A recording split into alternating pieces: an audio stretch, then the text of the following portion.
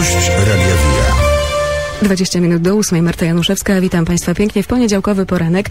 Mm, Poniedziałek to jest e, zwykle trudny moment, bo trzeba zacząć nowy tydzień pracy, a jeszcze wtedy, kiedy poprzedni tydzień kończyło się z wielkimi emocjami, to ten start w nowy tydzień może być e, no, jeszcze troszkę bardziej utrudniony, ale o tym między innymi porozmawiam z naszym gościem w studio Stanisław Orzuk, poseł Prawa i Sprawiedliwości. Dzień dobry. E, Dzień dobry Pani, dzień dobry Państwu. No rzeczywiście bardzo burzliwy koniec zeszłego tygodnia, E, prawda? Bardzo burzliwy koniec tygodnia, natomiast burzliwa, nazwijmy, akcja warszawska dla mnie to się Mhm. skończyła dopiero w sobotę, bo w sobotę wróciłem dopiero do domu.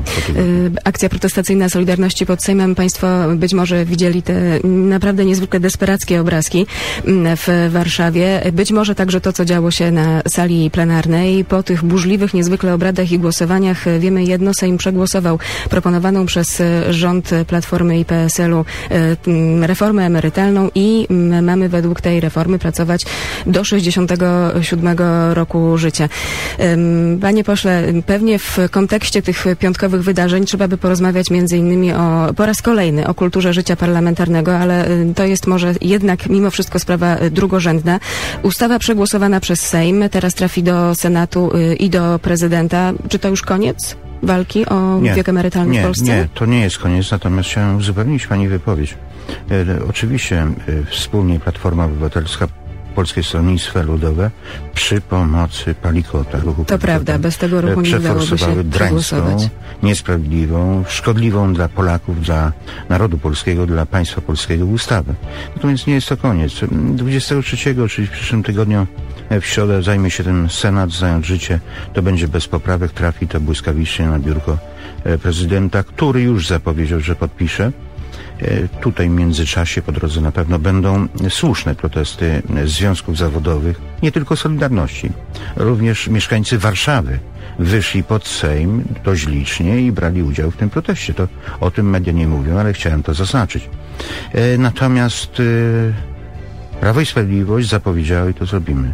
Skierujemy tą ustawę do Trybunału Konstytucyjnego, dlatego że ona, ta ustawa, zapisy w tej ustawie i procedowanie, sposób procedowania urąga zapisom Konstytucji gwarancją prawa dla obywateli Polski. Podkreślam, prawa, a nie przywilejów. Absolutnie to nie jest koniec. Mówimy o prawie do, do emerytury po prostu. Do godnej emerytury, bo to jest prawo, a nie obowiązek. Natomiast jeszcze jedna rzecz, prawo, a nie przywilej. E, Zapewniam, że jeśli, co nie bardzo wierzę, e, nie uda się w Trybunale, to na pewno, gdy zmieni się władza, to pierwszym działaniem to będzie zmiana tej ustawy. Y, No właśnie, związki y, zawodowe, jak pan wspomniał, mieszkańcy, w ogóle szeroki bardzo front protestów przeciwko zapisom y, tej przegłosowanej przez Sejm w piątek ustawy. Niezwykle dramatyczne czasem wydawało się nawet absurdalne sytuacje w trakcie głosowania. Solidarność, związki zawodowe zapowiadają, że broni nie złożą. Pytanie takie, na ile wystarczy, nie chcę mówić entuzjazmu, ale takiej desperacji tym osobom, które, które protestują, bo słyszymy, że ustawa przejdzie w Senacie, że prezydent ją podpisze. Czy tej desperacji wystarczy, by ta siła nacisku społecznego mogła być jak najdłuższa? E, Na pewno wystarczy. E, Szanowni Państwo, proszę Pani, ja byłem wśród tych związkowców i nie tylko związkowców e, kilkakrotnie, dlatego że to miasteczko, ono powstało we wtorek, natomiast no, wieczór w piątek związkowcy przestali protestować. Na pewno jest to ogromna desperacja i oni, mówiąc kolokwialnie, tego nie odpuszczą. Mm. Związkowcy zapowiadają, że także Mistrzostwa Europy Euro 2012 to może być ten czas nasilonych y, protestów. Y, To nie będzie dobry sygnał wysyłany za granicę. E, Nie będzie to mm, e, dobry sygnał. Na Prawo i Sprawiedliwość na pewno nie będzie organizatorem tego typu mm, protestów.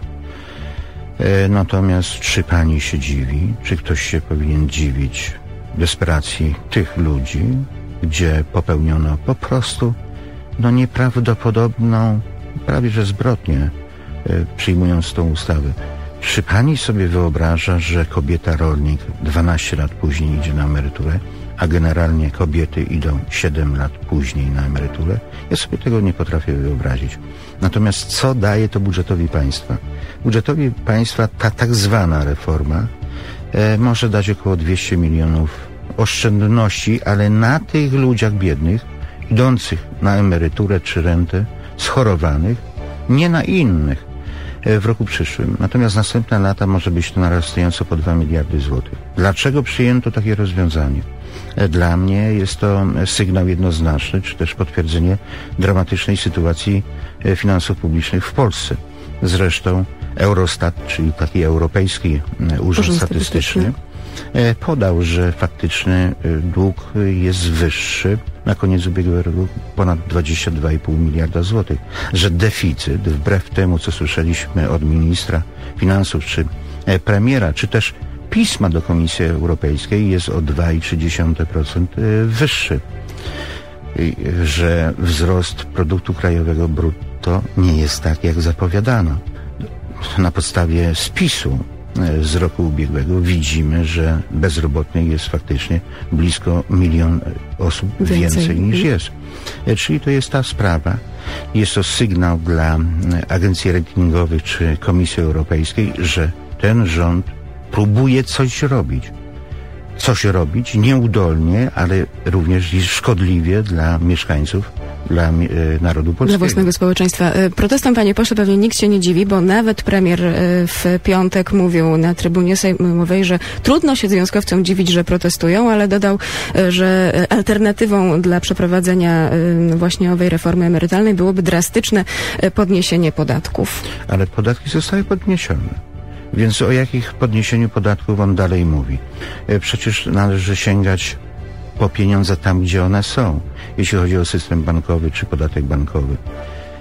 We prawie wszystkich krajach Europy Zachodniej ten podatek istnieje, u nas nie istnieje. Czy jeśli chodzi o e, sklepy wielkopowierzchniowe, czy podmioty zagraniczne funkcjonujące u nas, gdzie jest potężny wypływ pieniędzy. E, Dlaczego nie szuka na przykład oszczędności w ministerstwach? Przecież mam na piśmie odpowiedź na moją interpelację pod koniec 2010 roku w formie nagród dla pracowników ministerstw. Wypłacono prawie miliard złotych. W roku ubiegłym ta kwota była jeszcze wyższa. Więc dlaczego nie ma poszukiwania tych pieniędzy tam, gdzie należy e, tutaj Tam, gdzie one są, po prostu. Panie pośle, w piątek także w trakcie tych burzliwych wydarzeń w Sejmie opublikowano e, sondaż przeprowadzony dla telewizji TVP Infoprogramu Forum i okazuje się, że e, zrównały się, zrównały się notowania Prawa i Sprawiedliwości i Platformy Obywatelskiej. Na obie partie chce głosować po 34% Polaków i tak myślę sobie, że właśnie owe protesty społeczne, między innymi w sprawie owej reformy emerytalnej, to długofalowo y, no jednak no, trudno mówić, że korzyść, ale jednak przynosi ten, ten fakt, że owa desperacja związkowców może przekładać się na to, iż oni po prostu liczą na zmianę rządów. E, Tak, ale to nie tylko związkowcy, nie tylko ci, którzy czynnie biorą udział w tych protestach, ale proszę pani, to mówmy o społeczeństwie, nastrojach społeczeństwa. No ale no, społeczeństwo widzi, co się dzieje. E, Widzi, co się te dzieje protesty. i tą drożyznę i zapowiedź na przykład podwyżki cen energii elektrycznej po uwolnieniu e, w ogóle cen o około do 40%. Do 40%, tak. E, To są zapowiedzi, które doprowadzają do tego, że e, społeczeństwo jednak myśli i obserwuje faktyczne dokonania e, tej koalicji rządzącej, tej faktycznej, a nie tej w wydaniu kierowców. Czy to nie jest może trochę tak, że właśnie o, opór społeczny wobec y, reformy emerytalnej, wiemy, tych podpisów przecież zebranych przez związkowców było tak dużo, jest taki, że no, dla osób, które sprzeciwiają się tej ustawie, to jest właściwie jedyne światło w tunelu. Obietnica PiSu o tym, że zmieni wprowadzone teraz prawo. Tak. Natomiast coraz więcej ludzi zdaje sobie sprawę, że te zmiany są konieczne i stąd te notowania. Natomiast pani powiedziała o jednych notowaniach, ale w ubiegłym tygodniu to były trzy y, różne właśnie sondaże opublikowane, gdzie y, nie ma różnicy między tymi dwoma partiami. między PiSem a Platformą Obywatelską. Panie pośle, to na koniec jeszcze króciutko, jak z perspektywy Warszawy, jak z perspektywy Podkarpacia wygląda sytuacja w Grecji? E, W Grecji jest sytuacja dramatyczna, patowa w tej chwili, bo trudno jest stworzyć rządy. Natomiast ja na Grecję i Hiszpanię, bo następnym krajem, który będzie przeżywał takie potężne trudności, kłopoty, według mnie, obym się mylił, to będzie Hiszpania. Nam do Hiszpanii niedaleko. E, I następne wybory zapowiadane w ciągu najbliższego miesiąca czasu, nie wiem, czy przyniosą jakieś jednoznaczne rozstrzygnięcia, które spowodowałyby, że w jakiś sposób racjonalny gospodarka e, grecka może e, zaczną się stabilizować.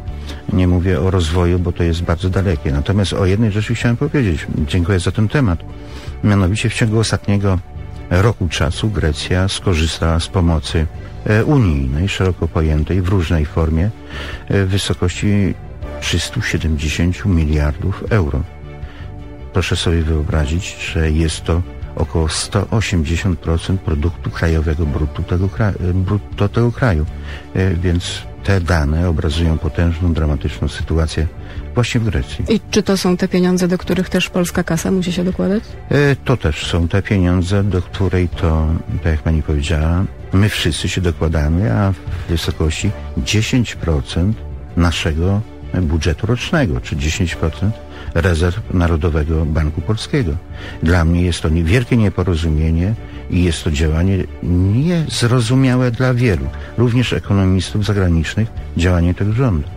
E, Dzisiaj w Grecji kolejna tura rozmów w ostatniej szansy, jak e, mówią tamtejsi obserwatorzy. My też będziemy patrzeć, co tam się dzieje, ale jeszcze bardziej przyglądać się e, dalszemu rozwojowi wypadków, jeżeli chodzi o wprowadzenie zmian emerytalnych w Polsce i protesty społeczne. M, Poseł Stanisław Orzuk, Prawo i Sprawiedliwość, był naszym gościem. Dziękuję bardzo. Gość Radia.